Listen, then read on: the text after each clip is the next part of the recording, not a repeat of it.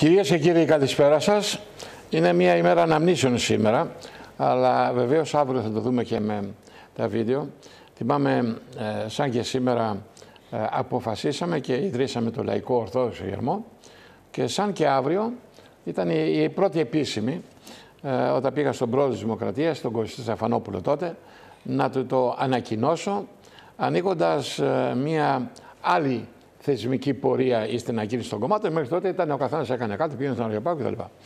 Εγώ αποφάσισα τότε να υπάρχει αυτή η θεσμική ενημέρωση που κάποιοι εν συνεχεία το κράτησαν και το λειτουργήσαν. Ε, 15 ακριβώς χρόνια, θα κάνω σήμερα απολογισμό, ε, τα συν, τα πλην της τελευταίας περίοδου, αλλά ε, η ουσιαστική παρέμβαση στα ε, πολιτικά δρόμενα. Ε, μερικά πράγματα με τους ε, πολύ καλούς φίλους που έμειναν όρθιοι σε αυτόν τον αγώνα. Ε, πετύχαμε μερικά πράγματα πολύ σοβαρά. Πρώτα-πρώτα είχαμε σαν στόχο τον διπολισμό. Ε, το πετύχαμε. Με εμάς έσπασε ο διπολισμός. Με εμάς έγινε η πρώτη κυβέρνηση, ε, η συμμαχική. Ε, όλα αυτά έχουν τη δικιά τους σημασία, γιατί για φανταστείτε τη μεταπολίτευση μέχρι τότε είχαμε μία σειρά πραγμάτων. Δηλαδή, ε, δύο κόμματα εναλλάσσουν την εξουσία. Τίποτα άλλο. Δεν υπήρχε φως για κανέναν άλλον. Ε, το σπάσαμε αυτό. Δεύτερον, ε, σπάσαμε τις μονοκομματικές κυβερνήσεις. Εμείς το πετύχαμε αυτό με την αιμονή μου τότε να γίνει μια κυβέρνηση εθνικής ευθύνης. Κολοβή, κολοβή. Αλλά, εν πάση έσπασε ε, το κατεστημένο των μονοκομματικών κυβερνήσεων που από εδώ και πέρα θα απαλλαγούμε αυτό το βραχνά, τον πελατειακό. Τρίτον, αυτό που είχαμε βάλει στόχο είναι να δώσουμε ένα κέριο πλήγμα στην οικογενειοκρατία και στον νεποτισμό. Και εκεί τα καταφέραμε καλά. Υπάρχουν κάποια απομεινάρια, αλλά εν πάση ε, περιπτώσει αυτή την ε, συνέχεια, την βασιλική διαδοχή στα κόμματα, σήμερα δεν την έχουμε τουλάχιστον όσο ε, την είχαμε στο παρελθόν ως πρωτεύουσα πολιτική θέση. Όλα αυτά τα πέτυχε ο Λαϊκός Ορθόδοξος Γερμός, ο οποίος άνοιξε και την πολυδιάστατη εξωτερική πολιτική, Μέχρι τότε όλα τα κόμματα, εκτός της δογματικότητας των κομμουνιστών, είχαν ένα προσανατολισμό στη Δύση, ε, μόνο Δύση και ε, όσο η χώρα να δύσει. Εν πάση περιπτώσει, εμείς ε, ανοίξαμε την πολυδιάστατη εξωτερική πολιτική, μιλήσαμε ότι υπάρχουν και εναλλακτικές προτάσεις, μιλήσαμε για το Ορθόδοξο Τόξο, μιλήσαμε για τη Ρωσία και την παρέμβασή της εδώ στο Αιγαίο. Πράγματα ο λίγο ανθυγινά βέβαια, γιατί έρχεσαι και χαλάς κάπου τη συνταγή, ε, υπερβαίνεις στα ωριά σου. Ξέρετε, καμία φορά όμως ο πατριωτικός ενθουσιασμός να κάνω κάτι για την πατρίδα αφαιρεί κάποια πράγματα που λειτουργούν ως βαρύδια στην ύπαρξη ενός πολιτικού. Ε, ξέρετε, όλα αυτά είναι δομημένα ε, με μεγάλες υπογραφές από την εποχή της Γιάλτας, ότι κοίταξε εκεί είσαι εδώ, μην ξεφύγεις να πας εκεί. Με, ε, μερικά πράγματα ε, δεν μπορούν ευκόλως να αλλάξουν, αλλά πάση περιπτώσει ε, κατορθώσαμε όλα αυτά τα χρόνια να πλέψουμε κόντρα ε, στο ποτάμι. Ε, είμαστε το πρώτο κόμμα και μοναδικό κόμμα που μιλήσαμε για τα δικαιώματα του Ιράν. Σήμερα τα έχει δεχτεί και η ίδια η Αμερική, αλλά όσο να τα δεχτεί η Αμερική, καταλαβαίνετε ότι εμείς πληρώσαμε ένα τεράστιο κόστος.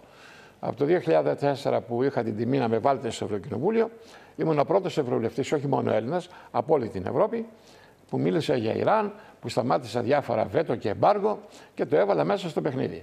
Αισθάνομαι πλήρως ικανοποιημένο.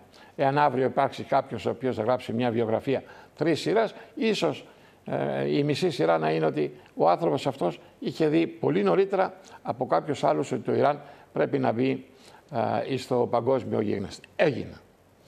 Το ίδιο πράγμα συνέβη και με την Κούβα. Όταν ξεκίνησα εγώ επαφές με την Κούβα, όταν εγώ έκανα συναντήσεις με τον Φίντερ Γκάστο το 2004, άλλοι φωνάζανε, τρελαθώ και τρελάθηκαν. Ξερνάγανε κάποιοι. Τι είναι αυτά που κάνεις, που πας, αυτό και σου. Γιατί ε, ε, το μεγάλο έτσι, ε, παγκόσμιο εφεντικό δεν ήθελε τέτοια πράγματα. Ότι εδώ, και έλεγα ότι αυτό δεν μπορεί να αντέξει, δεν αντέξει τον χρόνο, δεν αντέξει τον χρόνο, δεν αντέξει τον χρόνο και πρέπει κάποιοι από εμάς να πάμε, να πάμε. Και θυμάμαι πόσες παρεμβάσεις, πόσα. Ε, είναι καλά ο Κωστής ο Ευαλιώτης που τα θυμάται αυτά με την Άση ε, λέγαμε, συζητήσαμε, μου έλεγε και ο Κώστας μεγάλα τα ανοίγματα. Όχι Κώστα, αυτό είναι το σωστό. Όχι Κώστα, αυτό είναι το σωστό. Τώρα λοιπόν, στον δρόμο που εμείς χαράξαμε, το τόσο μικρό κόμμα, ο Λαϊκός Ορθόδοξος Γερμός, εδώ βλέπετε συνάντηση με τον Φίντελ Κάστρο ε, πριν την ε, ασθένειά του. Είχα τότε το θάρρος, τι θάρρος, την ανέδεια θέλει. Βλέπουμε, να βλέπουμε τον μεγαλύτερο εν ζωή ηγέτη ακόμα. Είχα την ανέδεια τότε να του να προσκαλέσω στους Ολυμπιακούς Αγώνες της Αθήνας ως βουλευτής Αθηνών και ως, δημο... ως νομαρχιακός σύμβουλος Αθηνών για να μου απαντήσει ότι ευχαριστώ πάρα πολύ για την πρόσκληση αλλά ο Πρωθυπουργός σου δεν, τα, δεν το δεχτεί. Και πράγματι το, το Σιμίτης, ε, καμία κουβέντα, που να, που να πούν κουβέντα, που να σκεφτούν δηλαδή, ε, να πούν του Φιντερ Κάστρο, όπως ήταν τα πράγματα. Τώρα όμως, κυρίες και κύριοι, δέκα χρόνια μετά, η πολιτική ήρθε εκεί που την είχα χαράξει εγώ. Ότι κρατήστε ανοιχτές τις πόρτες, μιλήστε, μη φοβάστε. Ε, τώρα λοιπόν η ίδια η Αμερική ανταλλάσσει οι πρεσβευτές, ε, επισκέψεις, άλλαξε το κλίμα. Και με το Ιράν και με την Κούβα. Όλα αυτά τα πέτυχε ένα σοβαρό μικρό κόμμα. Ε, θα μπορούσα να πω πάρα πολλά πράγματα για αυτά τα 15 χρόνια. Ε, οι εποχές αλλάζουν, ε, αλλάζει και ο κόσμος. Ένας κόσμος ο οποίος ε, άγεται και φέρεται από τις οδύνες του μνημονίου. Ένας κόσμος που ψήφισε το 12 ε, και το 15 ε, με, με, με μίσος, με αγανάκτηση, με θυμό. Και βεβαίως, όπως είπε και ο Μαράκης εχθές και χαίρομαι που το υιοθέτησε ο Ευάγγελος, ότι ε, όταν ψηφίζεις με θυμό και με μίσος, δεν έχεις αποτελέσματα. Φυσικά δεν έχεις αποτελέσματα. Προέκυψε η χειρότερη βουλή όλων των εποχών. Η χειρότερη βουλή ήταν αυτή που έληξε η ζωή της πριν από μερικές ε, ημέρες. Ε, επιλογή δική σας ήταν. Όμως, πολύ φοβούμε ότι οι προϊόντες του χρόνου και φτάνοντας τώρα στις δεύτερες εκλογές ε, του 2015, μπορεί να σπάσει και το ρεκόρ βέβαια το 2015 του του 1989 όταν είχαμε δύο αλλεπάλες εκλογές, συγγνώμη για το πέσο του λαιμού, που ξέρετε δεν μπορεί να επαναληφθεί και αυτό που έγινε τότε, μου το θύμισε ο κύριος Σπανόπουλος, και να έχουμε πάλι ε, πρωθυπουργό τον πρώτο Ριουπάγου, όπως τότε το Γρίβα, μήπως έχουμε και τώρα κάτι τέτοιο. Ε, από τις εκλογές προκύψει κάποιο διέξοδο και παραμείνει η κυρία Θάνου περισσότερο από την υπηρεσιακή. Ε, εν πάση περιπτώσει τώρα ο κόσμος ακόμα είναι πιο ε, αειδιασμένος από όλα αυτά τα πράγματα και μετά από την εξαλότητα θέλει να βάλει μέσα και τη γελιότητα. Θα είναι ένα ε, υπέροχο μείγμα, υπέροχο μείγμα. Διάβασα σήμερα στην πολύ καλή εφημερίδα τη δημοκρατία του κυρίου ε, Φιλιππάκη στην τελευταία σελίδα. Ε, έχει ένα άρθρο για, και λέει διάφορα πράγματα. Διαβάστε, μπείτε στην ισοσελίδα, διαβάστε τελευταία σελίδα της Δημοκρατίας για να καταλάβετε. Ε, λέω λοιπόν ότι θα δούμε και γελιότητα, θα δούμε και ε, ανοησία, θα δούμε και τέτοια πράγματα. Αλλά μην παραπονείστε σε δύο μήνες, τρεις, ότι άμα μπλέξαμε χειρότερα, ναι χειρότερα. Θα μπλέξετε χειρότερα. και το λέω με την, με την άνεση του ανθρώπου που πλέον δεν διεκδικεί τίποτα, δεν επιθυμεί τίποτα και ε, δεν επιζητά τίποτα, τουλάχιστον γονιπετήσει όπως τόσοι άλλοι. Εγώ λοιπόν σας λέω ότι η ζωή σας θα είναι πολύ χειρότερη σε δύο μήνες από σήμερα. Γράφτε το. Είναι 31 Αυγούστου. Εγώ θα φωνάζω τον κύριο Νιζάμι, βρέσε από το αρχείο τι λέγαμε. Θα είναι χειρότερα. Θα το περιπλέξετε το πράγμα. Θα το περιπλέξετε το πράγμα. Και εκεί λοιπόν θα ψάχνεστε να δώσει λύσεις σε κέρια θέματα η γελιότητα. Μα δεν μπορεί. Δεν μπορεί. Το γελίον είναι γελίον. Το υπεύθυνο είναι υπεύθυνο. Το σοβαρό είναι σοβαρό. Μην τα μπλέκετε. Εάν λοιπόν τώρα εσείς θέλετε να δώσετε υπόσταση στο γελίο, ναι, θα είστε για γέλια. Θα μου πείτε τώρα είστε για κλάματα. Εν πάση περιπτώσει, το γελίο είναι χειρότερο του τραγικού. Αυτό θα αντιληφθείτε όλοι σας. Έρχομαι λοιπόν και λέω, σε συνέχεια αυτών που σας είπα εχθές, ότι εγώ είμαι εξαιρετικά περίσκεπτος ε, για τις εκλογές. Εξαιρετικά. Εξαιρετικά. Και το σημειώνω αυτό. Πρώτα-πρώτα, ότι οι δύο πρώτοι έχει ξεχωρίσει έτσι. Δεν αλλάζει. Αυτά που ακούτε διάφορες τρίχε, ότι μπορεί να έρθει δεύτερο κόμμα η Χρυσή Αυγή. Ε, αυτό είναι για ε, όλους εκείνους οι οποίοι ε, έχουν, ξέρω εγώ, ε, βιώματα ε, ανυπολόγιστης ανίκαιη βλάβης στον εγκέφαλο. Επάνω αυτό τα δύο κόμματα έχουν βγει.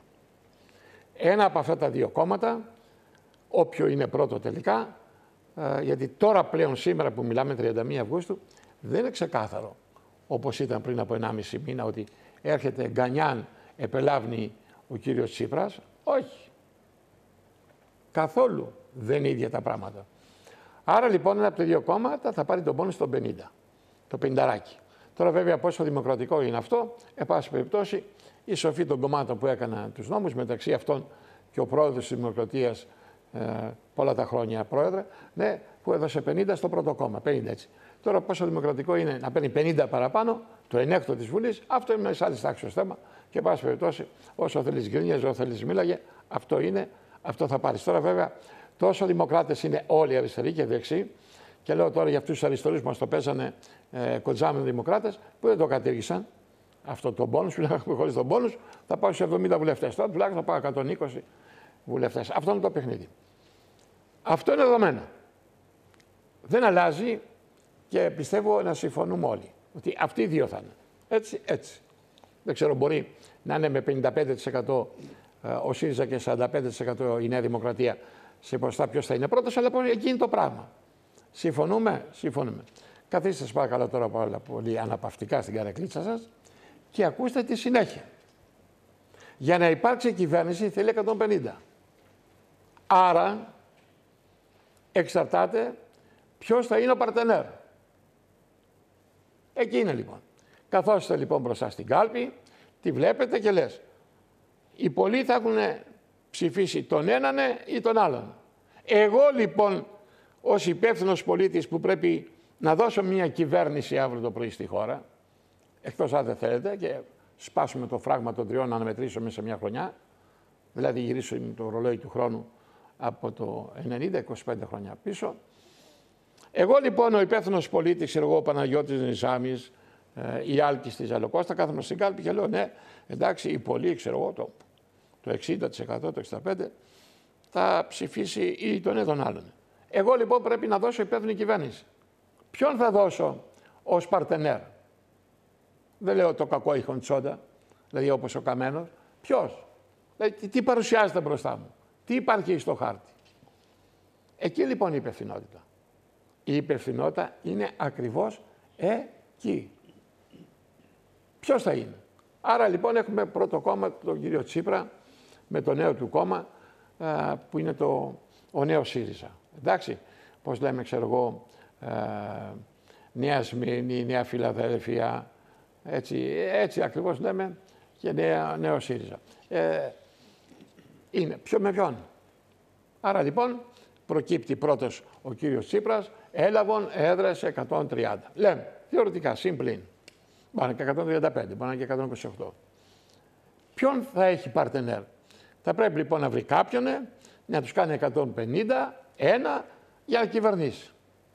Η μία επιλογή είναι να του ξαναδώσει τον ίδιο παρτενέρ. Αν και φαίνεται αδύνατον, η κάλπη είναι ε, σαν την έγκυο λέγανε πάλι, δεν υπήρχε το περιχογράφημα, θα γεννήσει, δεν ξέρει, θα κάνει αγόρι ή κορίτσι.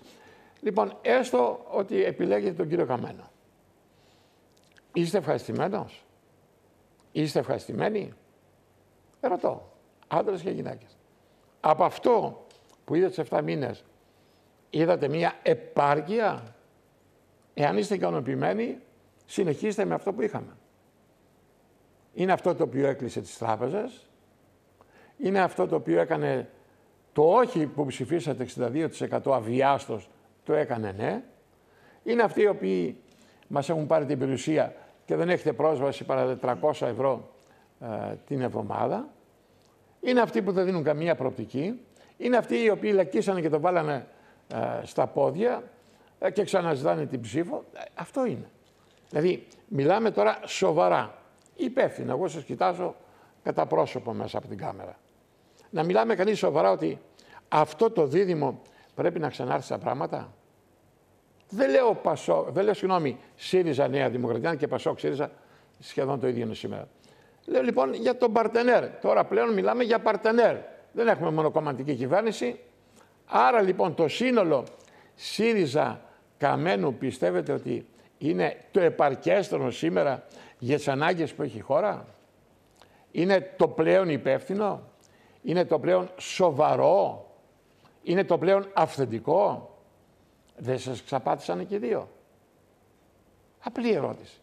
Σας εξαπάτησαν; Κάποιος είπε χθες πολιτική απαταιώνας. Και τον άκουσα και λέω, μα τι λέει πολιτική απαταιότητα. Και το ξανασκέφτηκα. Και λέω, όσο και να είμαι ενοχλημένος από αυτή τη φράση όταν ακούγεται για πολιτικά πρόσωπα, λέω, έχει μία αλήθεια αυτό. Όταν του λέγανε λοιπόν, τέρμα τα μνημόνια, θα καταργήσουμε με ένα άθρο το μνημόνιο. Το έλεγαν ο κύριος Τσίπρας, ο κύριος Καμένος. Αυτό πώς λέγεται; Δεν λέγεται Καραγκιόζηλίκη. Εγώ δεν θα πω ότι είναι Καραγκιόζηλες. Εγώ θα πω ότι επέχθη ένα Καραγκιόζηλίκη εις βάρος του Νικολάου. Δεν έλεγαν ότι θα καταργηθεί αυτομάτως ο ένφια. Και ο ένας και ο άλλος. Κατεργήθη. Δεν λέγανε και ο ένας και ο άλλος επαναφορά της εθνικής κυριαρχίας. Την είδατε να επανέρχεται έστω και από το φεγγίτι. Δεν είναι χειρότερα τα πράγματα. Είναι χειρότερα τα πράγματα. Δεν είπαν ότι θα ξαναδώσω πίσω το 13ο, 14ο μισθό. Τον έδωσαν. Όχι. Δεν είπαν ότι δεν πρόκειται να ξεπουλήσουν εθνική περιουσία, το δημόσιο κτλ. Και τα ρανταντάν και τα ρατζουτζούν. Ναι ή όχι, σε ρωτώ. Εγώ τα βίντεο τα έχω πρόχειρα. Θέλετε να σας ξαναπροβάλλω; Δεν θυμάστε τις κραυγές έτσι με τον τρόπο μάλιστα ε, μιμήσεως του Καρατζαφέρη, ε, του Πάνου, του Καμινού, εγώ είμαι στη Βουλή κτλ. Ε, ένα πάση περιπτώσει. Ε, ποτέ δεν πετυχαίνουν πάντα τα φώτα αντίγραφα όσο το αυθεντικό. Αλλά ε, εν πάση περιπτώσει, ε, δεν τον ακούω που λέγει δημόσια περιουσία, διοργή. Η πρώτη τους πράξη ποια ήταν όταν γύρισαν από τις Βρυξέλλες; Να δώσουν στους Γερμανούς τα 14 δρόμια της χώρας. 14 δρόμια. Το κεντρικό το έδωσε το Πασόκ, για του Λαλιώτη τότε, ποιανού ήταν, ποιος ήταν, και τα άλλα 14 τα δώσανε. Οι δύο παρτενέρ θα τους ξαναψηφίσετε.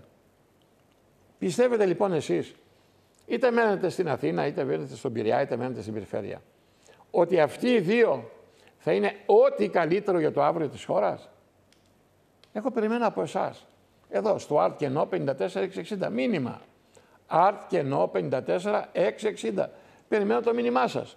Θέλω να με βοηθήσετε μήπως κάνω λάθος εκτιμήσεις. Γεια σας.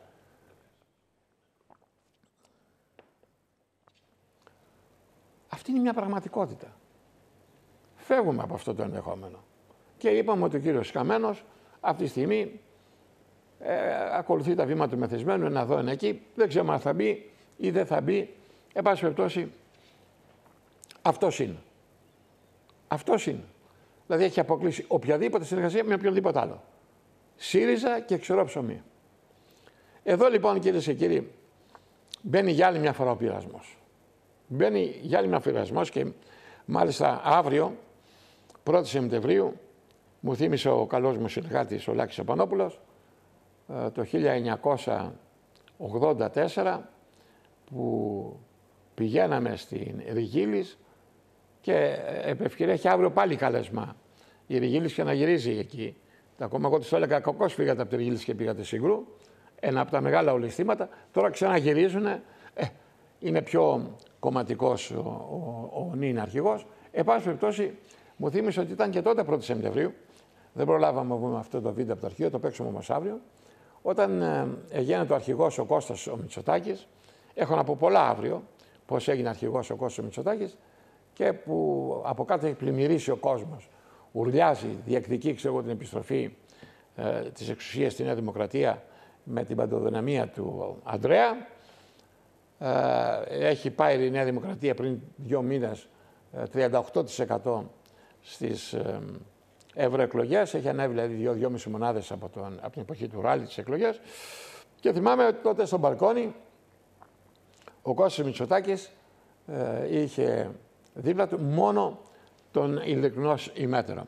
Τότε λοιπόν είμαστε κάποιοι άνθρωποι εκεί, ε, κάποιοι ε, που έμελε να συναντηθούμε στα ψηφοδέλτια ε, της Β' Αθήνα.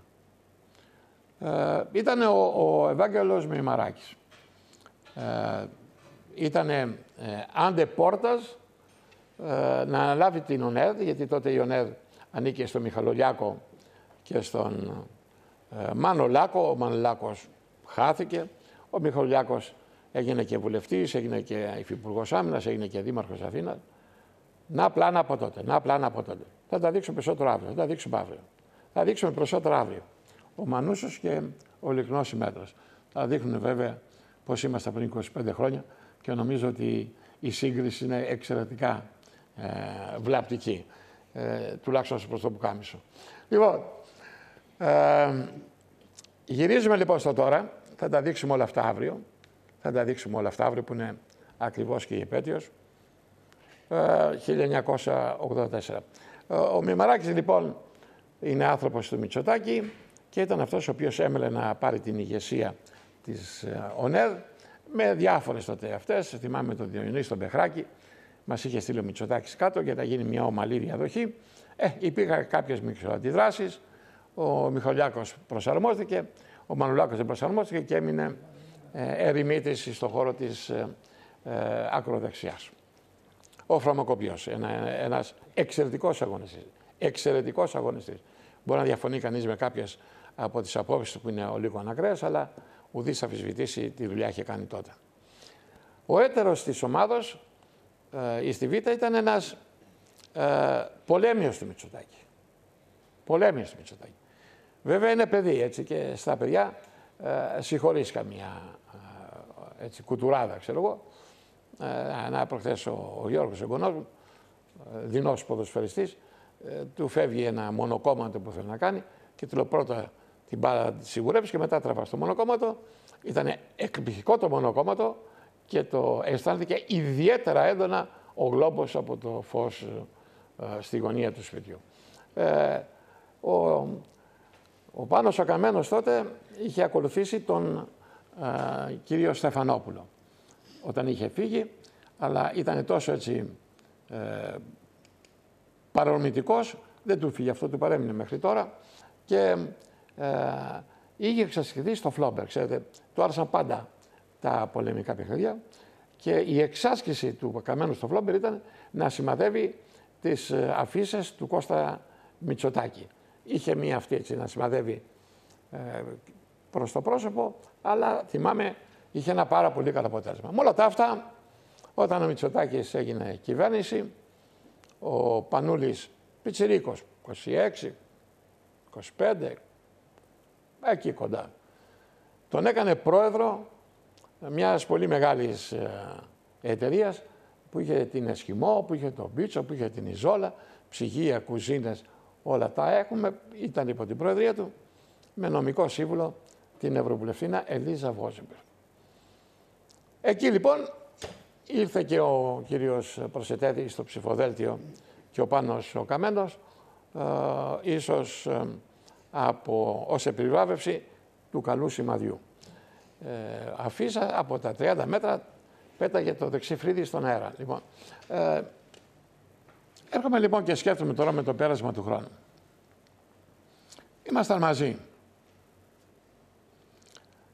Ο μεν ένας είναι αρχηγός της Νέας Δημοκρατίας, από Σπόντα, η οποία βγαίνει στη Νέα Δημοκρατία. Εγώ δεν θα πω τα αντίθετα. Ε, ήταν ε, μια επιλογή η οποία χάνει μόνο όσο προς τη μεταβατικότητα.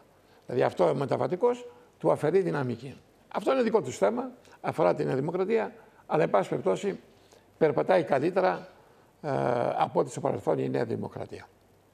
Ο έτερος έγινε αρχηγός κόμματος. Και δεν μιλάω για μένα, μιλάω για τον κύριο Πάνο Καμένο. Αυτός λοιπόν ο οποίος εκκινεί το δεξιότερο και των δύο άλλων.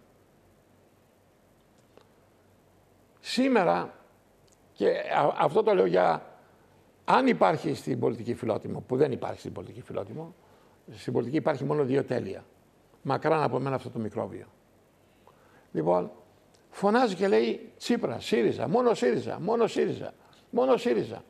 Και πάση περιπτώσει κυρίες και κύριοι, το φώναζε ο Πανούλης πέρυσι, επειδή ήταν και δύο αντιμνημονιακοί. Εντάξει. Αντιμνημονιακοί. Τώρα λοιπόν που είναι ο Τσίπρας φουλ μνημονιακός, τι είναι αυτό; Άρα λοιπόν έχει προσδιορίσει ο Πάνος ότι καμία σχέση με αυτό που λέγεται κέντρο δεξιά. Ούτε με το ένα σκέλος, ούτε με το άλλο σκέλος. Ούτε με το κέντρο, ούτε με δεξιά. Εγώ είμαι εδώ, στον κύριο Τσίπρα. Αισθάνεται συγγενέστερος με τους ε, νεοκομμουνιστές. Γιατί περί αυτού πρόκειται, μικροδιαβόμαστε. Αυτή είναι η πραγματικότητα. Ξέρετε, μία φορά ο Πανόπουλος μου λέει να γελάσει λίγο στο μοντάζ και με βάζει μέσα στο Υπουργικό Συμβούλιο να βλέπω την κυρατασία, αυτή την, ε, των μεταναστών, την, την ιέρια, δίπλα στον καμένο. Και πράγματι ήταν για γέλια, δηλαδή είναι αλήθεια ότι γελάσαμε. τώρα όμως μιλάτε για το αύριο της χώρας. Αυτός ο άνθρωπος λοιπόν έχει αυτό αποκριστεί να κάνει η κυβέρνηση με τους άλλους. Δεν ξέρω. Μπορεί να έχει ένα μίσος για την ε, πολιτική του καταγωγή. Δεν μπορώ να το ερμηνεύσω. Ξέρω πολλούς. Ξέρω κάποιος ο οποίος δεν ήθελε να λέει ότι είναι ο γιος του Τάδε, γιατί ο πατέρας του ήταν μέθος. Και δεν ήθελε, όχι, δεν έχω καμία σχέση. εντάξει, ούτε ο Μητσοτάκης ε, έπινε, που ήταν ο κοινός πολιτικός πατέρας, αλλά εν πάση περιπτώσει δεν μπορώ να καταλάβω γιατί το αρνείται ο κύριος Καμένος. Πάρτε τον κύριο Καμένο. Άλλη παρτενέρ. Χρυσή Αυγή. Χρυσή Αυγή το έχει δηλώσει, δεν καταλαβαίνει τίποτα, δεν τη θέλει και κανείς. Την αντιμετωπίζουν σαν να έχει, ε, πώς το λένε, ηλαρά ε, ή ξέρω εγώ κάτι άλλο, ευλογιά, αλλά πάνω έτσι. Ούτε αυτή θέλει, ούτε οι άλλοι θέλουν, όπως και το ΚΚ. Δηλαδή ΚΚ από τη μία πλευρά, οι γνήσιοι κομμουνιστές και οι γνήσιοι φασίστες από την άλλη πλευρά, είναι εκτός παιδιάς. Τους αφαιρούμε αυτούς. Τι μένει λοιπόν; Μένει λοιπόν α, ο κύριος Θοδωράκης. Ο κύριος Θοδωράκης είναι ένας πολιτικός arrivίστας. Το λέει, το ομολογεί. Και επειδή ακριβώς το ομολογεί, ε, προσπαθεί να το εξαγνίσει. Εξαγνίσει. Λέει ο άλλος, εγώ χωρίς να σημαίνει ότι τα συνδέω, ε, μ' αρέσει πάρα πολύ να ε, βουτάω πορτοφόλια. Ε, μα δεν το εξαγνίζει το να βουλάς πορτοφόλια. Δηλαδή το να λες εγώ είμαι arrivίστας, δεν είναι εξαγνίζει την ενέργεια. Εγώ θα πάω με όποιος είναι πρώτος. Με αυτό θα πάω. Με εκείνον θα πάω. Αρκεί να είναι ό,τι λέει η Μπέρκελ, ό,τι λέει το μνημόνιο, ό,τι λέει το Δουνουτό. Αυτή είναι η πολιτική του θέση. Μην κοιτάτε που χρησιμοποιεί άλλες λέξεις, όχι βέβαια και εξαιρετικά περίτεχνες, δεν το έχει αυτό το χάρισμα. Αλλά αυτή είναι η ουσία. Άρα λοιπόν υπάρχουν Έλληνες οι οποίοι σου λένε ότι εγώ ε, είμαι αριβίστας, ε, θέλω αυτό, ό,τι κάτσει. Δηλαδή ψηφίζει και σου λέει εγώ θα είμαι ή με τον έναν ή με τον άλλον. Δηλαδή θα γίνω ή φιλοκομμουνιστής ή φιλελεύθερος. Έτσι απλά. Αρκεί να είναι όλοι κάτω από την σκέπη α, ε, των δανειστών. Είναι ο ασφαλής παρτενέρ είναι ο ασφαλής παρτενέρ; Ε, συνεχεία προτάσεται η κυρία Φόφη γεννηματά. Δείχνει να προσπαθεί να βάλει το Πασόκ σε μία τάξη. Πήρε και κάποιος από τη Δημάρ, ε, εκτός από κάποιους άλλους, από το, σαν τον Κουβέλη και τα που σου λέει είμαστε στο ακουστικό μας, γιατί ο Πανούς να πάρει Υπουργείο που ήταν δικό μας και μην πάρω εγώ. Είναι κάτι τέτοια πράγματα.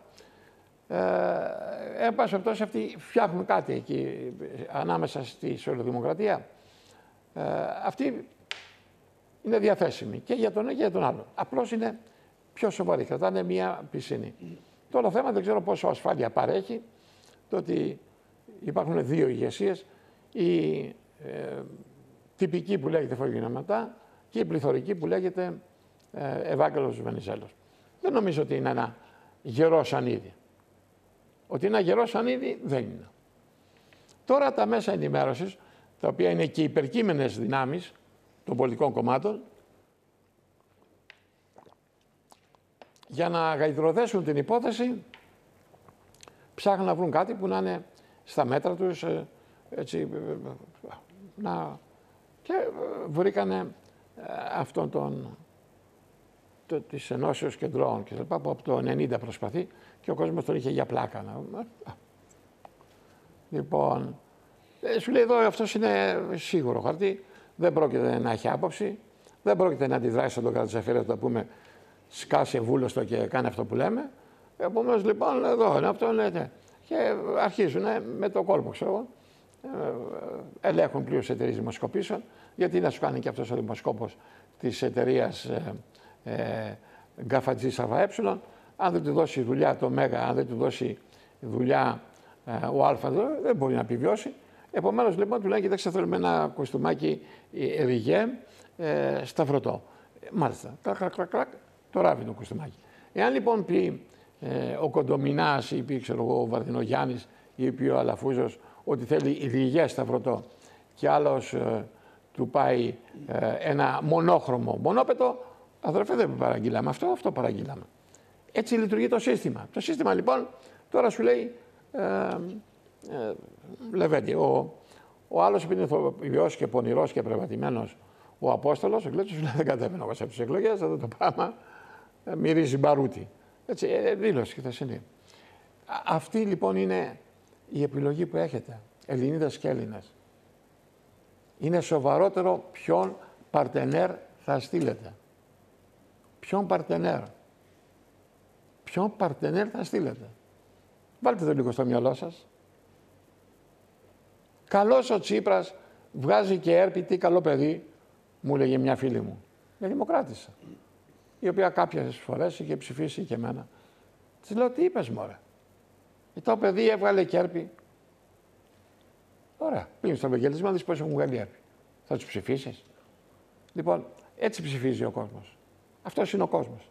Αυτή, ε, ευτυχώς όχι όλοι. Λοιπόν, λοιπόν, αυτό θα ψηφίσεις τον Τσίπρα. Ή ο Βαγγέλης. Ωραίος είναι ο Μουστάκια σε αυτή την ταινία. Μπράβο. Βρήκατε την επιλογή σας. Με ποιον ναι. Εκεί είμαστε. Με ποιον ναι. Με ποιονιά. Εσείς θα αποφασίσετε.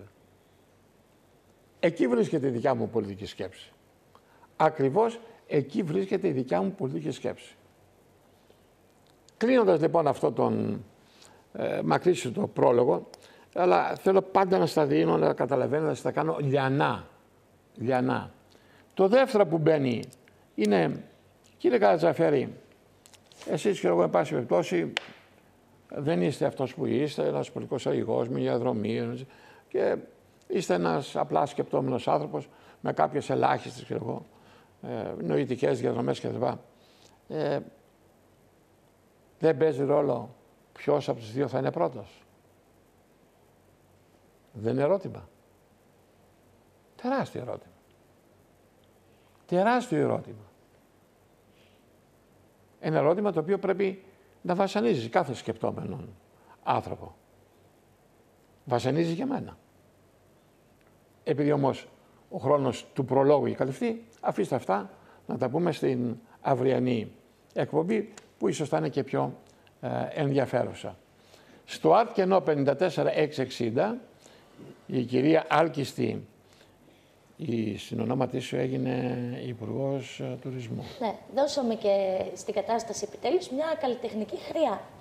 Ναι, αλλά είναι όμως, έχει ωραία φωνή, δεν είναι ψηλή. Έτσι. Πολύ ωραία φωνή. είναι... Και έχει και ένα πολύ ωραίο τραγούδι. Γιατί καμιά φορά οι ψηλές φωνές βγάζουν έτσι και λίγο. Ναι. Ψηλές κορώνες. Κορώνες. Και κάνουν φάλτσο ή όχι, Πρόεδρε; Δεν ξέρω. λοιπόν. Άλλος. Πώς το λένε το τραγούδι; Άλλος για. Χίο τράβηξε και άλλος για Μυτιλήνη. Πού πάει στη Μυτιλήνη, είχε πάει ο Λαφαζάνης χθες. Τι έπαθε. Από εκεί ξεκίνησε την προκλήτη ομιλία. Ναι, OK. Okay. Εκεί θεωρεί ότι θα πάρει ναι. αγανακτισμένους από το ΣΥΡΙΖΑ. Ναι. Λοιπόν, εντάξει. Ε, έχουμε ένα υπουργικό συμβούλιο που το είπαμε ότι μοιάζει καραμανλικό, αλλά έχει λίγο Σημίτη μέσα. Έτσι, ναι. Λοιπόν, το καρπούζι είναι κόκκινο, αλλά μέσα έχει και τις μαύρες τέτοιες.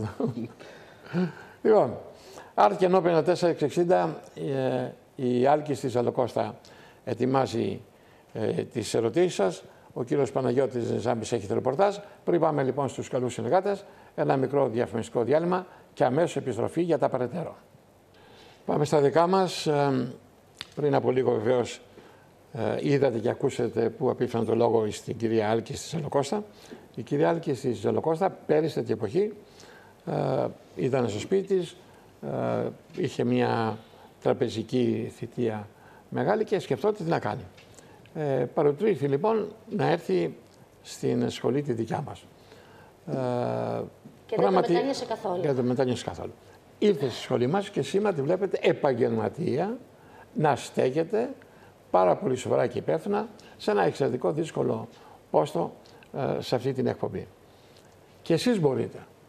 Και εσείς μπορείτε τώρα να εγγραφείτε στη σχολή, να μάθετε κοντά μας τα δημοσιογραφικά ε, γράμματα από έμπειρους καθηγητές, με καθηγητές οι οποίοι είναι μέσα στη δράση και η διεύθυνση σχολής είναι Πραξιτέλους 58 Τζιτζιφιάς Καλυθέα. Είναι μέσα σε εγκαταστάσεις του ομίλου ε, του ΑΡΤ. Δηλαδή από την πρώτη ημέρα έχετε όσμωση με αυτό που λέγεται τηλεόραση, με αυτό που λέγεται κονσόλα, με αυτό που λέγεται κάμερα, με αυτό που λέγεται ε, μικρόφωνο. Το τηλέφωνο επικοινωνίας είναι το 210 33 15 733. Επαναλαμβάνω. 210 33 15 733. Επικοινωνείτε τώρα μαζί μας και ξεκινάει μία προοπτική για σας ή για το παιδί σας ή ακόμα για τον γόνι σας. Γιατί υπάρχουν παππούδες και γιαγιάδες που σου λέει το παιδί δεν πέτυχε. Ναι, το παιδί δεν πέτυχε, αλλά μπορεί να πετύχει ως δημοσιογράφος. Και ως δημοσιογράφος έχει μια κοινωνική καταξίωση, έχει μια επαγγελματική προοπτική και έχει και μια κοινωνική ανέλυξη. Είναι πράγματι ένα επάγγελμα που προσδίδει και κύρος και αναγνωρισιμότητα και υπάρχουν πάρα πολλές δουλειές. Όλα αυτά τα site, όλα αυτά που δημιουργούνται τα νέα μέσα στα social media δίνουν ευκαιρία στο παιδί σας. Τηλεφωνήστε λοιπόν τώρα στο 210 33 15 733. 33 15 733 για να έρθετε κοντά μας. Να δούμε άλλη μια φορά το μήνυμα της ε, σχολής και επαναλαμβάνω για άλλη μια φορά τη διεύθυνση πραξιτέλους 58 της Ζηφιάς. Θα σας πούνε πώς θα έρθετε και με το τραμ, κατεβαίνετε στη στάση της Ζηφιάς του Ισέως και με το τρόλεϊ που έχει αφετηρία ακριβώς εδώ και με πάρα πολλά λεωφορεία, ακόμα και με το ηλεκτρικό κατεβαίνοντας στη στάση του Νέου Φαλήρου ή της ε, Καλυθέας. Πάμε λοιπόν να δούμε το διαφημιστικό για τη σχολή.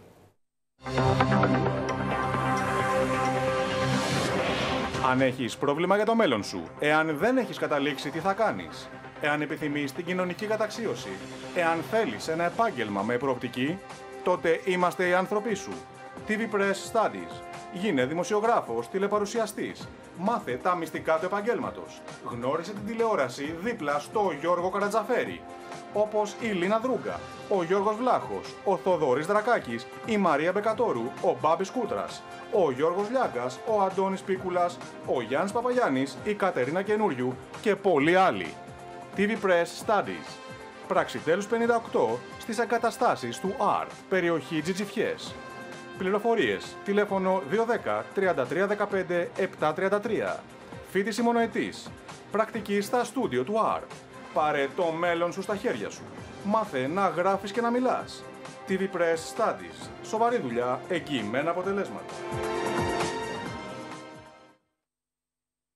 Βέβαια πρέπει να πω ότι είχα παράπονα από πάρα πολλούς καλούς συναδέλφους που πέρασαν από κοντά μου που δεν τους έβαλα και αυτούς. Δεν σημαίνει ότι υπήρξε κάποια ε, διαφορετική αξιολόγηση από το ε, κάποια παιδιά στέκονται πιο πολλές ώρες μπροστά στο γυαλί.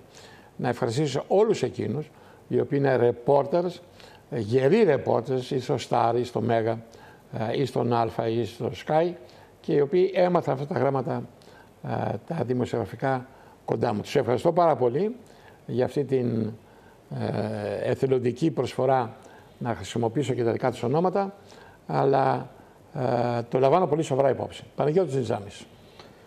Γεια σας και από μένα. Μου φέρατε έτσι εικόνες από το παρελθόν.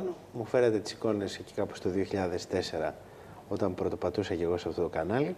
Ήταν η εποχή που ο κύριος Η αποφράδα εκείνη η χρονιά. Τι μας έκανε ο Ιωαννίδης; Ήταν ο, ήταν ο Κώστας ο Καραμαλής τότε παράλληλα που αναλάμβανε μια χώρα που θα έχει τους Ολυμπιακούς, όπως ε, είπατε και εσείς στον πρόλογό σας, και εκεί που περιμέναμε μια ανάπτυξη του 3% χρεοκοπήσαμε. Αυτή την εικόνα μου φαίνεται ότι θα φέρει... Δεν σημαίνει ότι αναγκαστικά πάλι... χρεοκόπησε λόγω Καραμαλή. Όχι, Έτσι. αλλά χρεοκόπησε η χώρα περιμένοντας ο κόσμος ότι θα γίνει κάτι άλλο. Δεν Σαφώς. Ναι. Εγώ νομίζω ότι το παιχνίδι ο Καραμαλής το έχασε γιατί περιορίστηκε μόνο στην αναφορά των ταβατζίδων και δεν μπορούσε να μετρηθεί μέχρι τέλος. Εκεί με το βασικό μέτοχο, όλος ο σχεδιασμός, ενώ σαν σύλληψη ήταν σωστή, σαν αποτέλεσμα ήταν ατελέσφορο. Εγώ την, άδη, την ίδια άποψη με εσάς και εγώ ε, κρατώ αυτά τα έρμα που λένε, που δεν κρατά ο ΣΥΡΙΖΑ σήμερα. Ο ΣΥΡΙΖΑ δεν έχει έρμα. Δηλαδή δεν μπορεί να δεις τι θα φυλάξει τις κινήσεις του ΣΥΡΙΖΑ αύριο μεθαύριο όταν έχει κάνει τόσες Τόσε ανα... όταν έχουν έρθει και αναποδιέ δεν μπορεί να τις χαρακτηρίσει. Δεν έχει ούτε Τόσα έρμα, ούτε τέρμα όμως. Ακριβώς. Τίποτα από τα δύο. Είναι χήμα. Δηλαδή μέσα σε 8 μήνες έχει καταφέρει και έχει καταστρέψει ό,τι υποτίθεται ότι θα έφτιαχνε. Μιλούσα σήμερα με τον επιστημονικό συνεργάτη της Πανελλήνιας Συνομοσπονδίας, των συνταξιούχων τέλος πάντων, που αποτελεί όλη την κλίμακα που όλες οι ομοσπονδίες εντάσσονται μέσα σε αυτήν. Η μείωση πρόεδρο που έχουν δεχτεί από την Παρασκευή που τα λέμε είναι πολύ μεγαλύτερη από αυτή που φανταζόντουσαν. Γιατί η μείωση είναι επί των αρχικών ποσών που έπαιρναν πριν ξεκινήσουν οι μειώσεις. Δηλαδή το 6% που δέχεται τώρα στο ταξιούχος δεν είναι 6% από την προηγούμενη σύνταξή του. Ήταν από το αρχικό oh, ποσό που έπρεπε να παίρνει. Ωραία ε, κομπίνα. Δεν σας κρύβω και εγώ ήμουν έκπληκτος όταν άκουσα την είδηση. Ε, πήρε, δεν πρόλαβα να την. 15% δηλαδή. Ακριβώς. Ε, αλλά ε, βλέποντας την απορία συνταξιούχων που είναι στη γειτονιά μου, που λέγανε πάνω, έλα δείξω. Κοίταζα εγώ το πρωί και λέω, τι μου δείχνουν τώρα; Κοίτα πόσα μου κόψα μπορούσα να υπολογίσω εγώ από τον καθένα ξεχωριστά πόσα έπαιρνε. Γνωρίζετε τον Έλληνα. Καλά, συγγνώμη. Κάτσε ρε πάνω. Ε, και πώς το. Πέρα όχι, όχι, όχι, μισό λεπτό. Τι, το χαρτί της συντάξεως το κρατούσε στα δόντια έτσι; Πώς το Γιατί η χέρι αποκλείεται. Το έχει κόψει το χέρι του. Ε, Ήταν κόψει χέρις. Το είπα, αλλά φοβόμουν να. Ήταν ναι. κόψει χέρις. Ναι. Ε, κόψει χέρι. Δεν μιλάμε μόνο για αυτό, Πρόεδρε. Ο, ο κύριος Τους είπες, εσείς τον φέρατε; Δεν τους είπες, εσύ το ψήφισες. Επομένως, τι με ποιον τάχει. Εγώ δεν σας κρύβω, έλεγα ότι θα ήθελα να τραβάμε φωτογραφίες και τους συνταξιούχου με το που παίρνουν στα χέρια αυτή τη σύνταξη. Μπορεί να ήταν σκληρό. Από την άλλη, όμως, Πρόεδρε, ε, πολλοί από τους συνταξιούχου το γνωρίζαμε, γυρίσανε μόνο γι' αυτό. Γιατί υποσχέθηκαν, το θυμάστε πολύ καλά, ότι δεν θα ρίξουν την κατώτατη σύνταξη στα 300 ευρώ που ισχυριζόταν ο κύριος Σαμαράς. Ναι, ότι θα πρόσεξε, όχι, εγώ δεν με πήκε. Ε, και επειδή ακριβώς δεν έχω να χάσω τίποτα, γι' αυτό τους τα λέω. Δεν θέλουν να ακούσουν. Δεν θέλουν να ακούσουν. Δηλαδή είναι τυφλωμένοι. Για πηγαίνετε με σας παρακαλώ στο, στη σελίδα, στο 13. Μνημόνιο σελίδα 427. Ε, όσο να τους τα έλεγα, αδερφέ μου, τι να κάνουμε, δεν θέλουν να ακούσουν. Ότι αυτό έχει τελειώσει. Αυτό έχει τελειώσει. Θα το εφαρμόσει ο Α, ο Β ή ο Γ. Να πω ότι πέρασε από τον κύριο Χαϊκάλη. Ξάστε τώρα τον κύριο Χαϊκάλη. Μα πέρασε πριν τις εκλογές, πρόεδρε. Δηλαδή δεν πρέπει να το ξέρουν. Λοιπόν, ο κύριος Χαϊκάλης, βεβαίως. Λοιπόν, λοιπόν, μην μου λες Χαϊκάλη και σε ενέγγιση μα πειρασμών. λοιπόν, να λαρίσει εμάς από του πονηρού. Πάμε να δούμε 427.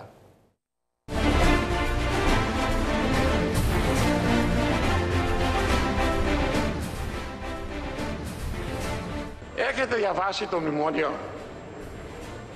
Δεν χρειάζεται. Πηγαίνετε μόνο στη σελίδα 427. Θα διαβάσω τι λέει στη σελίδα 427. Λέει λοιπόν, τα μέτρα αυτά, μέρα στον οποίο ήδη αποφασίσαμε και άλλα έρχονται τον Ιούνιο, τα μέτρα αυτά θα δώσουν τη δυνατότητα μείωσης της απόκλησης στο επίπεδο του κατώτατου μισθού σε σχέση με τους αγωνιστές μας Πορτογαλία, Κεντρική και Νοτιοανατολική Ευρώπη. Νοτιοανατολική Ευρώπη, δηλαδή οι μισθοί θα πάνε στο επίπεδο της Βουλγαρίας και της Ρουμανίας ή για καλύτερα περίπτωση της Σλοβενίας. Αυτό λέει. Δεν το λέω εγώ. Ανάγνωση εκ του μνημονίου. Έχετε πιστεί μέσα στην ψυχή σας, στην καρδιά σας, ότι οι κατώτεροι μισθοί θα φτάσουν εκεί που είναι της Βουλγαρίας και της Ρουμανίας; Γι' αυτό αγωνιστήκαμε, γι' αυτό πολεμήσαμε. Γι' αυτό κρατήσαμε την Ελλάδα έξω από το Ανατολικό Μπλοκ για να γίνουμε χειρότεροι σε οικονομικά αποτέλεσματα από τις χώρες του Ανατολικού Μπλοκ. Εκεί θα οδηγήσετε τον Έλληνα.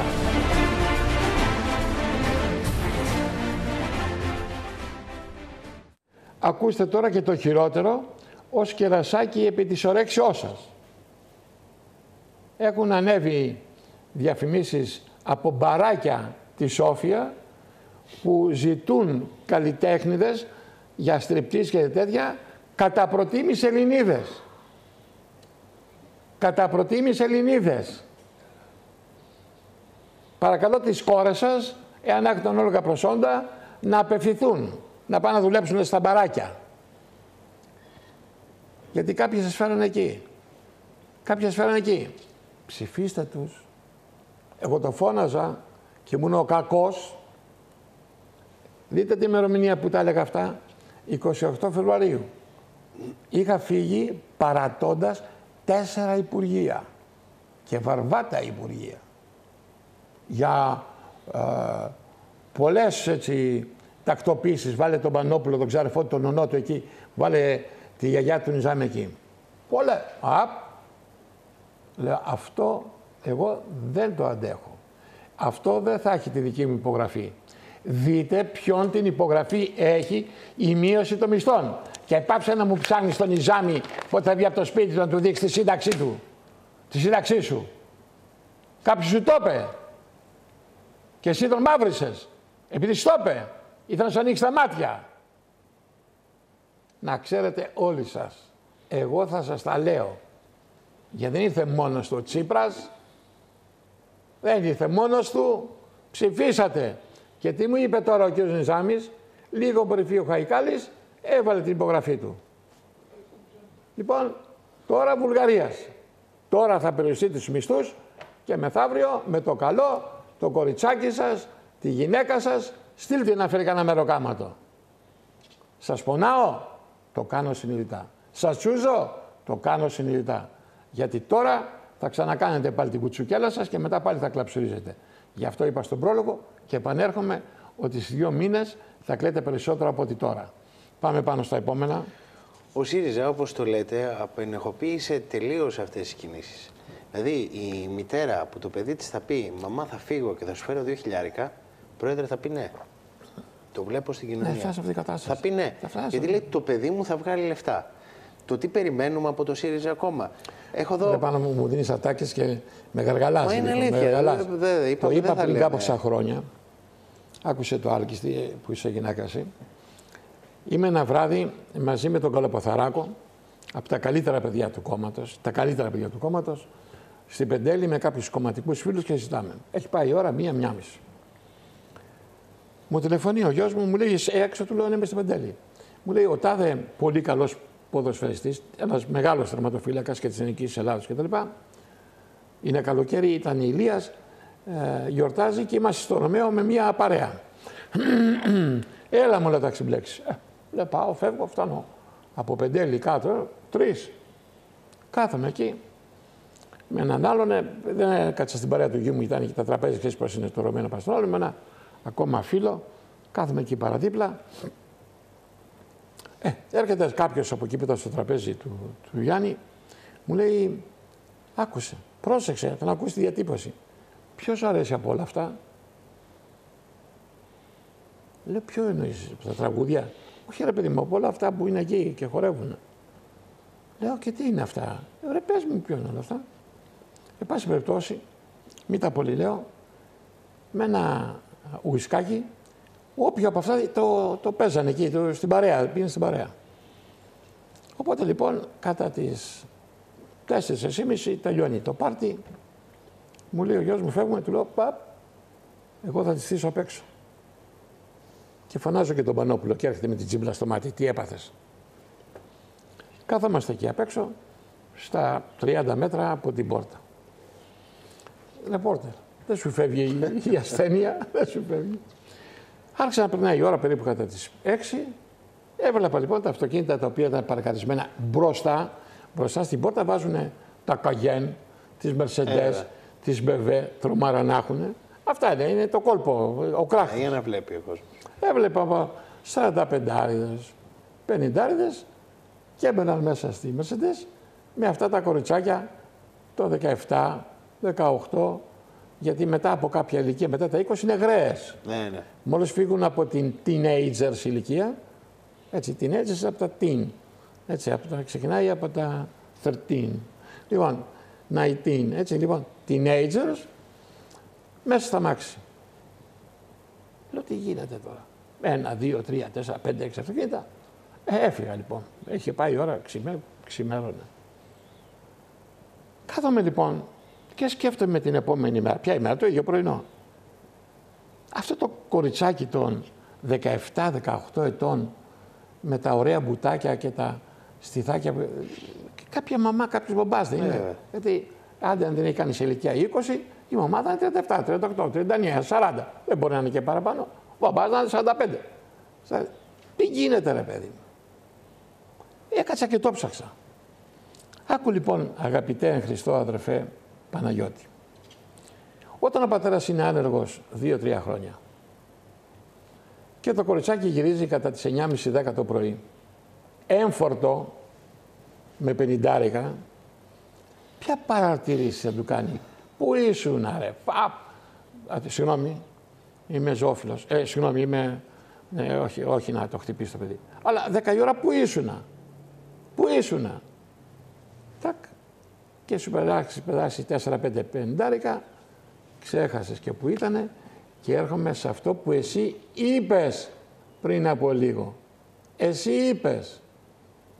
Και τι είναι αυτό Παναγιώτη μου; Δεν είναι ότι εμέσως πλην σαφώς ο άνεργος μπαμπάς αφήνει το κοριτσάκι του να Αναγκάζεται εκδίδεται. κατά κάποιο τρόπο, αλλά απ' την άλλη το έχει να χωνέψει τα- κιόλας. Η κοινωνία μας. Ας είναι καλά το, το μνημόνιο. Έτσι είναι. Πλέον είναι χωνεμένο. Παλιά νομίζω η μάνα, ο πατέρας καθόντουσαν και το σκεφτόντουσαν στις ε, μαύρες τους στιγμές και λέγανε το κοριτσάκι μου έπεσε εκεί. Πλέον νομίζω, Πρόεδρε, ότι είναι και σε καλή μεριά να πάνε τα Όχι, χρήματα. Όχι, καλή μεριά, ναι. Γιατί Και εσύ θα είσαι πω και κι άλλο. έξυπνη, Και γιατί θα ο πω άλλος κι δεν άλλο. έχει δουλειά. Μία από αυτές τις πολύ γνωστές, δεν θα πω το όνομά της, η οποία έβγαινε στις εκπομπές εκεί, όλες αυτές του. Πώς το λένε, πάρτα όλα, πώς το λένε. Ε, Του, του, του, Πολύ του, του, γνωρίζω. θέμου. Του, Α, του του θέμου. θέμου. Και κάποιοι άλλε που ε, ανελευθερία. Θα λέει, εγώ πήρα ένα χάμερ, χάμερ, ένα τάγκ, 150.000. Πώς το, το, πώς το. Χορηγία. Χορηγία, άκου. Ναι, ήταν το άλλο. Βγαίνει λοιπόν, το θυμάμαι σαν και τώρα, και ήρθε, ύστερα από 15 μέρες εμένα που το είδα αυτό, ένας φίλος μου ταξιτζής, ο Μίτσος. Ε, βγαίνει αυτή και λέει ανεληθρία έτσι αυτό ότι εγώ ε, για να δεχτώ έτσι εδώ, ε, θέλω ένα χιλιάρικο. Ούτε να πάει η εφορία, δεν πετάζω. Ένα χιλιάρικο. πάει λοιπόν ο Μίτσος στην κόρη του και της λέει σου βρήκα δουλειά στις φίλες μας στη Στάδε που είχε ένα, μια μπουτίκ να πηγαίνεις να παίρνεις 400 ευρώ το μήνα. Την καλή περίοδο. Και γυρίζει η Μίκη και του λέει τι λες μωρέ, δεν άκουσες την τάδε στην τηλεόραση ένα χιλιάρικο τη μία ώρα. Και ο άνθρωπος ήρθε έντρομος, τρελαμένος, τρελαμένος μου λέει άκουσε. Παραδείγματα εκ τηλεοράσεως από τα λεγόμενα μεγάλα κανάλια. Τέλος πάντων, πάμε. Πάμε, Ε, συνεχίζουμε. Άλλο ένα παράδειγμα έτσι 38 σε αυτά που λέγατε ήταν για το πώς αλλάζει η ζωή. Ο Γαβράς ετοιμάζει ένα ντοκιμαντέρ για τον κύριο Βαρουφάκη. Ο- ε, Αναφέρω το όνομα του κύριου Γαβρά γιατί ήταν ο προτινόμενος για πρόεδρος της, Νέας- της, ε, της Δημοκρατίας από τους περισσότερους του ΣΥΡΙΖΑ. Καλά, εγώ, ο συνδεμό πώς ήρθε; Εγώ σου είπα για Συγγνώμη. εκδιδόμενα κοριτσόπουλα να πούμε. Και Ε, εσύ δεν μου λες ξέρω, Βοροφάκη. Τώρα, τώρα ο Αυτός καθένας... εξέδωσε την Ελλάδα. Ο καθέ... Ναι, αλλά ε, το σουρεάλ είναι ότι αυτός που εξέδωσε την Ελλάδα με εισαγωγικά, όποιος θέλει να τα βγάλει, είναι αυτός που προτείνεται από αυτόν που πρότειναν για πρόεδρο της Δημοκρατίας τον κύριο Γαβρά να του φτιάξει ντοκιμαντέρ με χρήματα, εντάξει. Κάπου θα τα βρει, χορηγούς θα βρει. Αλλά θα φτιάξει ντοκιμαντέρ για τον κύριο Βαρουφάκη. Είναι οι σουρεάλ στιγμές που ζούμε στην Ελλάδα, Κοίταξε να τις σου πω οποίες κάτι. θα τις βρούμε Να σου μπροστά πω, μας. Θυμάμαι στη δεκαετία του 60 ε, πόσο ξέ είχαν ε, ε, οι ταινίες με το Δράκουλα, το Καρπαθίων. λοιπόν, οι εποχές όλο αλλάζουν και όλο ίδιες είναι. λέμε. Ναι. Λοιπόν, ε, ε, πάμε σε Ρασούλης. μηνύματα art και ενώ 54-60 έχουμε μηνύματα. Έχουμε πολλά μηνύματα, κάθε ημέρα έχουμε πολλά μηνύματα. Δυστυχώς, Πρόεδρε, λέτε τα πράγματα όπως ακριβώς είναι και πάντα. Δυστυχώς, απευθύνεστε σε σκεπτόμενο πολίτη που αντιπροσωπεύει δυστυχώς ένα μικρό ποσοστό πλέον. Όμως, χάρη εσάς, ελπίζω, Πρόεδρε. Ε, Ντου μου Σπύρο Σπέρο από τον αδερφό μου και τη σελίδα του. Όσο αναπνέω και εγώ ελπίζω ότι κάποια στιγμή κάτι θα γίνει, κάτι θα γίνει. Έχουμε όμως και κάποια θεματάκια να δούμε. Ε, από την, ε, ε, από την ε, Δημοκρατία, ο Μανώλης Σοκοτάκης έχει γράψει ένα καλό κομμάτι ε, και θα ήθελα να του δώσετε τη δέουσα προσοχή. Γραφίδα δυνατή και καλή εφημερίδα.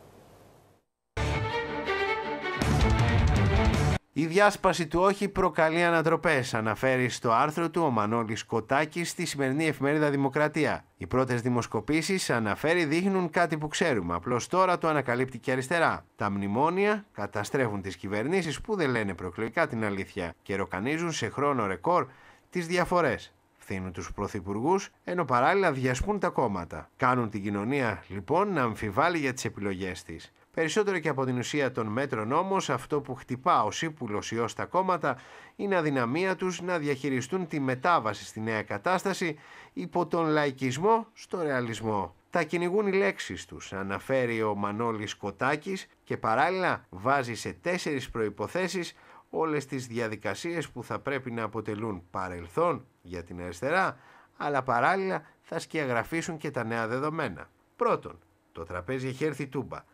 Η αναμέτρηση έχει ακόμη φαβορή όσον αφορά την κατάταξη στην πρώτη θέση, έχει όμως και γερό outsider, κάτι που δεν υπήρχε μετά τη συντριβή του ναι τον Ιούλιο. Δεύτερον, φαίνεται ότι η Νέα Δημοκρατία συσπηρώνει σταδιακά όχι μόνο τους ψηφοφόρους του Γενάρη, αλλά και το ναι του Ιουλίου, το οποίο αποτελεί μια συμπαγή πολιτική δύναμη.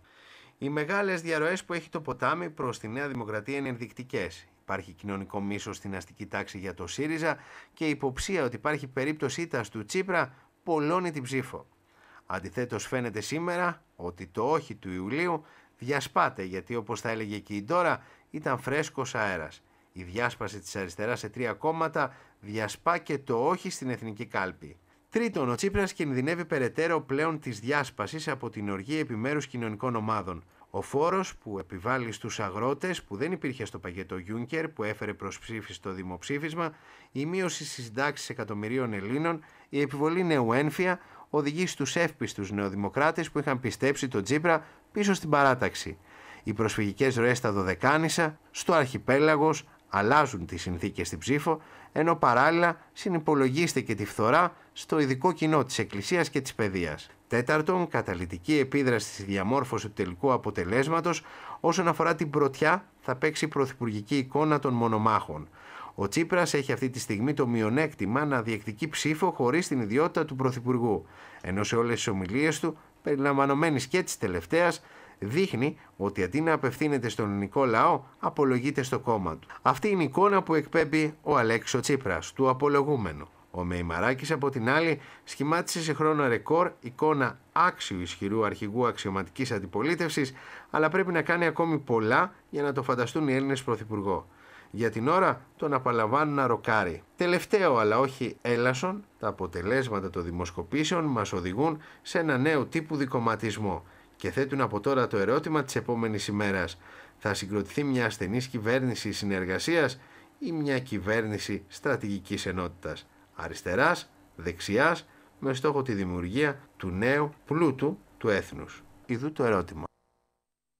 Αυτό με στεναχωρεί βλέποντας το βίντεο αυτό Παναγιώτη και Αρκιστή είναι ότι αντί οι νεοδημοκράτες να πείσουν τους ε, Σιριζέους φοράς ένα σακάκι, ε, έπεισαν τους νεοδημοκράτες και πάνε με πουκάμισο.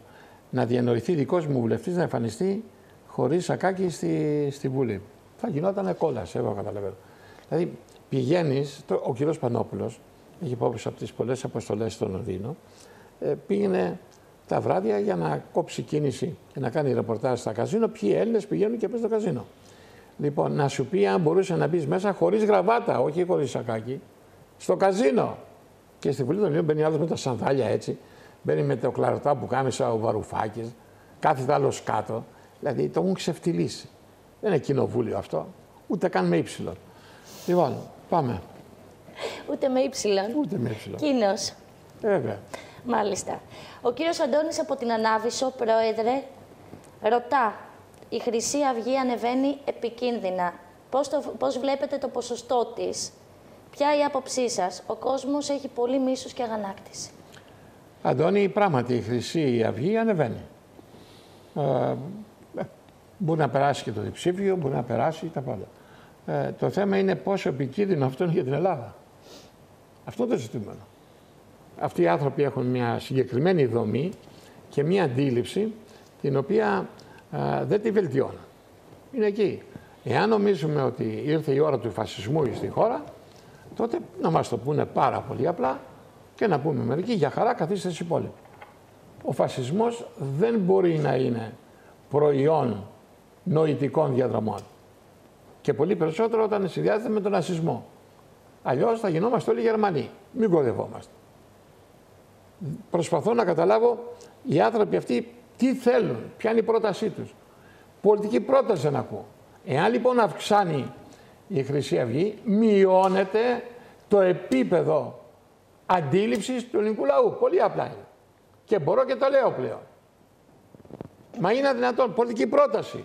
Ο Θοδωράκης κάνει μια πολιτική πρόταση. Εγώ είμαι αριβίστα. Πάμε οτιδήποτε. Είναι πρόταση. Τον άλλο, ποια είναι η πρόταση; Ποια είναι η πρόταση των άλλων; Πρόταση πολιτική. Θα γίνει αυτό, θα γίνει αυτό, θα γίνει αυτό, θα γίνει αυτό. Μπορεί να πάει και 15. Εσείς τα κλαίτε. Γιατί η επόμενη μέρα, λόγω των επιλογών σας, θα είναι πιο περίπλοκος και πιο δύσκολη. Διαδίδεται στο διαδίκτυο, Πρόεδρε, ότι υπάρχει ενδεχόμενο να συνεργαστείτε με τη Νέα Δημοκρατία. Αληθεύει το σενάριο αυτό; Το διαδίκτυο. Ταχύτρο και μου. Ε, το διαβάζω κι εγώ. Μου το λένε και στον δρόμο, μου το φωνάζουν, αλλά σας διαβεβαιώνω ότι δεν υπάρχει ουδέν. Δεν το ξεκαθαρίσουμε. Ουδέν. Ουδέν. Προφανώς είναι κάποιοι οποίοι το θέλουν και το επιθυμούν και το ανεβάζουν στο διαδίκτυο. Τώρα βέβαια δεν είναι καθόλου ασφαλής πληροφοριότητα στο διαδίκτυο. Ο καθένας ανωνύμως γράφει το μακρύ και το κοντό του. Έτσι. Μακράν από εμένα. Η οποιαδήποτε πρωτοβουλία πολιτική δική μου θα έρθει στο φως δημοσιότητας ευθέως από εμένα. Δεν υπάρχει τίποτα. Πρόεδρε, ο κύριος Στέφανος από την Κομωτινή μας γράφει ότι μας δίνει μάλλον μια ιδέα. Θα ήθελα να σχηματιστεί συνεργασία κομμάτων με επικεφαλή εσάς και με την ονομασία Εθνική Ενότητα. Δεν υπάρχει κανείς πιο κατάλληλος. Στέφανέ μου, το έχω ακούσει και εγώ αυτό το Εθνική Ενότητα, το έχω ξανακούσει, το έχω ξανακούσει, αλλά δεν νομίζω όμως ότι θα μπορούσε να συμβεί αυτό για πάρα πολλούς λόγους. Για πάρα πολλούς λόγους αλλά σαν ονομασία ε, είναι ωραία. Πάμε παρακάτω. Μάλιστα. Δεν έχουμε ηγέτες. Γιατί αφού ξέρουν ότι καταστρέφεται η χώρα, δεν κάνουν κάτι. Η εθνική ενότητα είναι κατά το λαϊκή ενότητα, κατάλαβες; Δηλαδή η λαϊκή ενότητα αριστερά. Εθνική ενότητα δεξιά. Το καταλαβαίνεις; Ναι, όπως και η λαϊκή ενότητα είναι και η κλητική του λαός, όπως έχετε πει ναι. άλλες φορές. Άλλο να είσαι συνομαστική και άλλο να είσαι κλητική. Σαφέστατα. Συνεχίζει το ερώτημα γιατί να δεχτώ τόσους μετανάστες στη χώρα μου, γιατί, Πρόεδρε, η Ελλάδα να γίνει μειονότητα; Γιατί με ρωτάς; Δεν με ρωτάς. Εσύ τι κάνεις; Εσύ τι κάνεις γι' αυτό; Να σου θυμίσω ότι κάποιος θα έλεγε το 2000 και τον λέγανε φασίστα, θα τα έλεγε αυτά. Τώρα, δεν γίνεται. Τώρα θα συνηθίσεις θα συνηθίσεις να ζεις μαζί τους. Τώρα θα συνηθίσεις. Τώρα πια δεν γίνεται. Αργά. Ας είναι καλά όλοι αυτοί οι οποίοι δεν καταλάβαιναν. Παιδιά είναι πρόβλημα. Παιδιά είναι το πρόβλημα. Παιδιά είναι το πρόβλημα. Αυτό είναι το πρόβλημα. Δεν άκουγε κανείς. Το 2025 έλεγε η στατιστική των Ηνωμένων Εθνών θα είναι περισσότεροι οι ξένοι από εμάς. Εγώ σας λέω τώρα γίνομαι εγώ κυβερνήτης της χώρας. Με όλες τις εξουσίες. Τις απόλυτες εξουσίες. Δεν υπάρχει καν κοινοβούλιο. Ξυπνάω και κοιμάμαι και αποφασίζω τι θέλω. Δεν πάω να διώξω. Μπορεί η αστυνομία τους καταφέρει. Τους τα κεφάλια. Σήμη, ξέρω εγώ, έχει 10 αστυνομικούς και έχει και χίλιους μετανάστες πάνω. Ποιος έχει εξουσία στο νησί; Την παίρνουν και θέλουν την εξουσία. Ωραία. Ε, αυτό είναι ψέματα ή αλήθεια; Είναι αλήθεια. Σήμερα, στην κρίσιμη ηλικία των 18 με 40 ετών, εκεί μπορείς να αναμετρηθείς. Είναι περισσότεροι οι λαθρομετανάστες παρά οι Έλληνες μεταξύ 18 και 45. Κατανοητό αυτό; Κατανοητό. Η αστυνομία δεν μπορεί να τους αποκρούσει. Βάλτε την αστυνομία αυτό πριν να βγει στο δεν μας αποκρούσει. Δεν μπορεί, δεν έχει δυνάμεις. Άρα θα κατεβάσει στο στρατό. Όταν κατεβάσει στο στρατό, θα σκεφτείς ότι απέναντί σου έχεις δύο εκατομμύρια μουσουλμάνους. Καληνύχτα. Εγώ σας τα έλεγα. Εγώ πέσα χρόνια τα βίντεο με τους Αούα στην Αθήνα και το βλέπατε ως γραφικό. Τους φώναζα, η Αούα. Κοιτάξτε τα, ακούστε.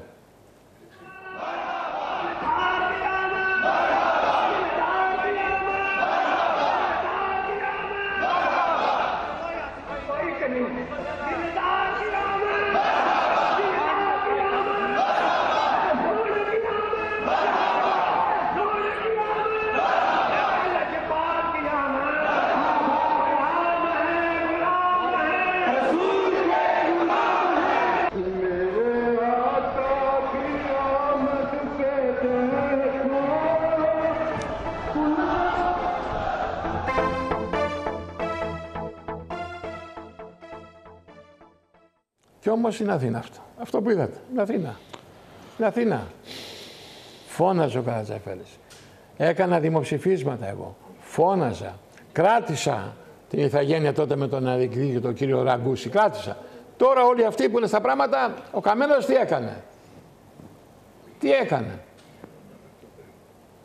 Χάθηκε το παιχνίδι. Χάθηκε. Δεν έχω καμία απολύτως ευθύνη.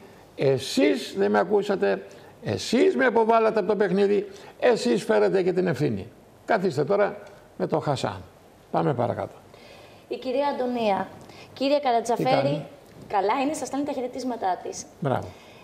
Κύριε Καρατζαφέρη, σας εκτιμώ αφάνταστα. Υπάρχει κόσμος που ψήφισε ΣΥΡΙΖΑ για να σταματήσει απλά την προκλητική αλαζονία και το φαγοπότη όλων των προηγούμενων αρπακτικών.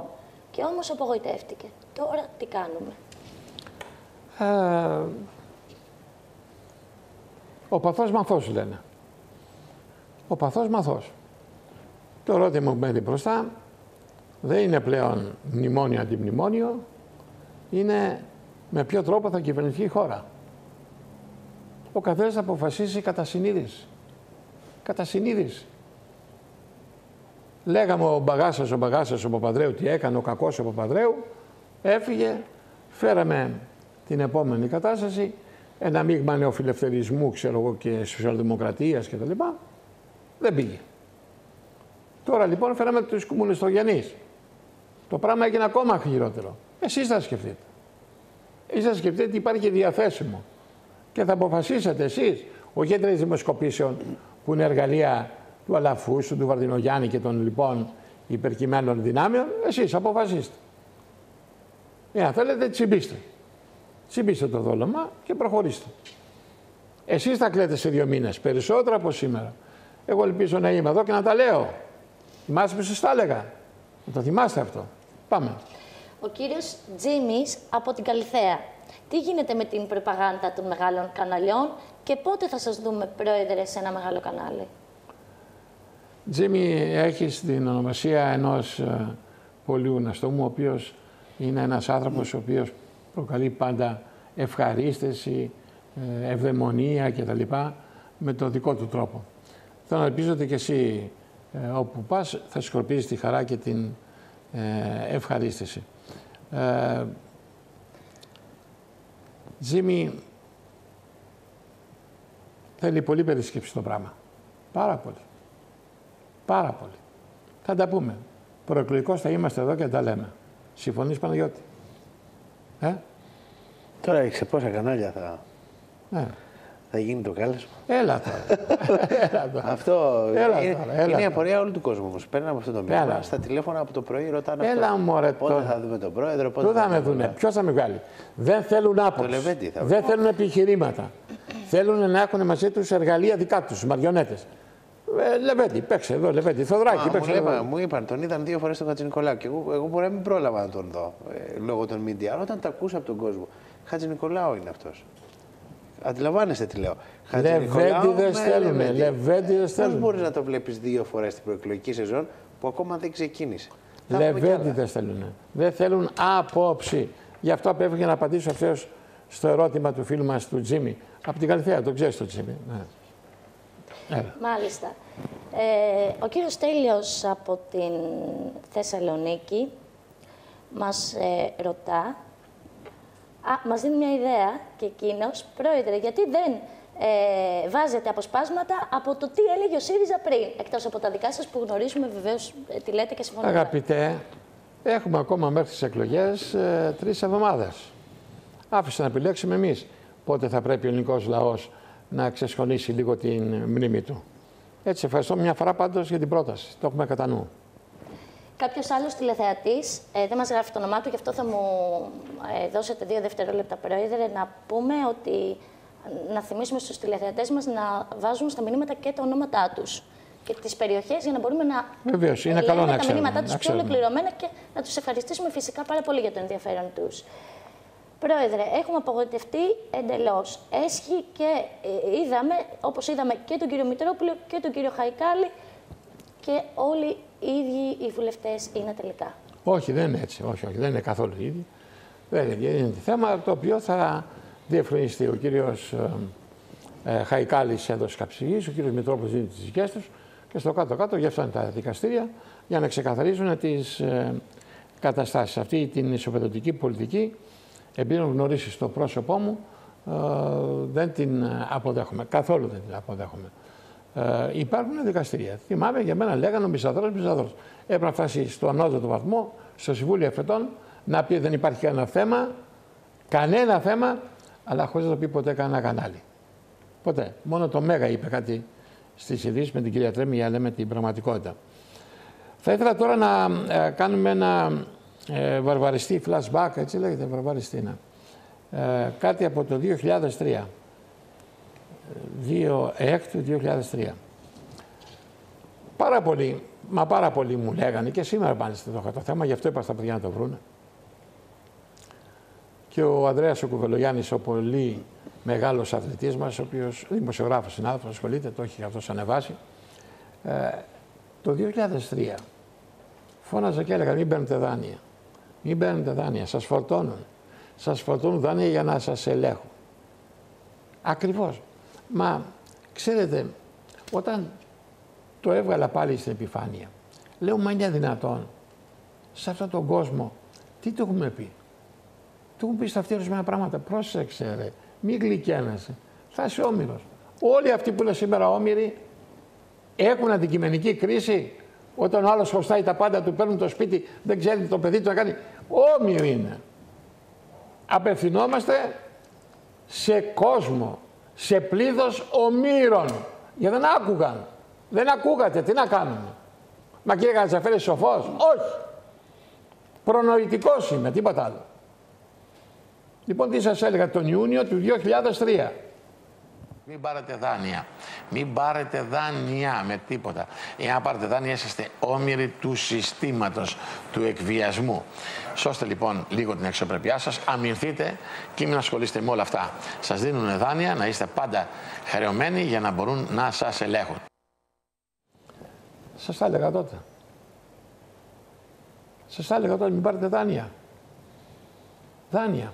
Θυμάμαι είχαν φτάσει οι Παναγιώτη εσύ ξέρεις καλά, κάνεις οικονομικό ρεπορτάζ. Έλεγαν τότε οι τράπεζες σε 20 λεπτά θα πάρετε δάνειο εκείνο, θα σας δώσω και μια μακαρονάδα, θα σας δώσουμε και ένα.